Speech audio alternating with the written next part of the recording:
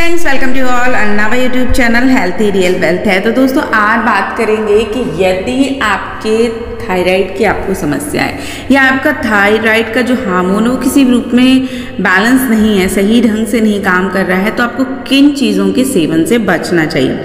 देखिए thyroid hormone जो होता है वो कोशिकाओं की मरम्मत मेटाबॉलिज्म को कंट्रोल करने और शरीर के विकास के लिए बहुत ज़्यादा मददगार होता है। लेकिन कुछ चीज़ें ऐसी हैं जो यदि आपको थायराइड से संबंधित कोई भी समस्या है, तब आपको उनका सेवन नहीं करना चाहिए। सबसे पहली चीज़ है थायराइड से बचने के लिए बहुत ज़्यादा ऑयली चीज़ों से बचना चाहिए।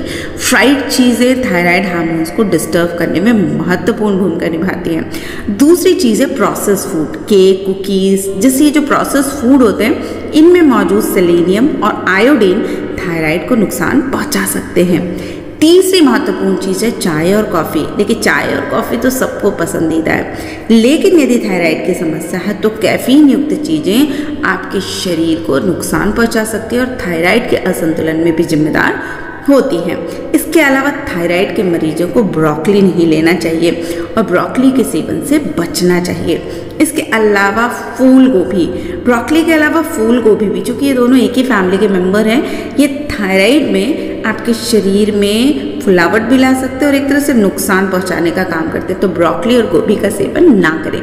इसके अलावा सोयाबीन। देखिए, सोयाबीन में मौजूद फाइटोएस्ट्रोजन थायराइड हार्मोन का निर्माण करने वाले एंजाइम्स के कार्य को प्रभावित करने का काम करते हैं। तो आप यदि थायराइड के पेशेंट हैं तो किसी रूप में सोयाबीन, ब्रोकली और फूल गोभी का सेवन ना करें। इसके अलावा ग्लूटेन फ़ूड गेहूँ, राई, जौ जैसे ग्लूटन वाले अनाजों का सेवन ज़्यादा करने से भी थायराइड का जो जोखिम है वो ज़्यादा हो जाता है। तो इनका जो प्रयोग है वो सीमित मात्रा में करें और इनकी जगह जो ग्लूटन फ्री फूड्स हैं, जैसे चावल, इसके अलावा किनवा सीड ऐसे बहुत सारी चीज़ें हैं जिनका सेवन आप करके ग्लूटन से छुटकारा पा सकते हैं। इसके अलावा शुगर थायराइड में शुगर वाली चीज़ों का जो सेवन है, वो भी बहुत लिमिटेड अमाउंट में करना चाहिए, क्योंकि इससे पाचन क्रिया भी प्रभावित हो सकती है और चेहरे पर भी एजिंग बढ़ती है। तो ये कुछ विशेष फ़ूड हैं जो थायराइड को असंतुलित करने में महत्वपूर्ण भूमिका निभाते हैं।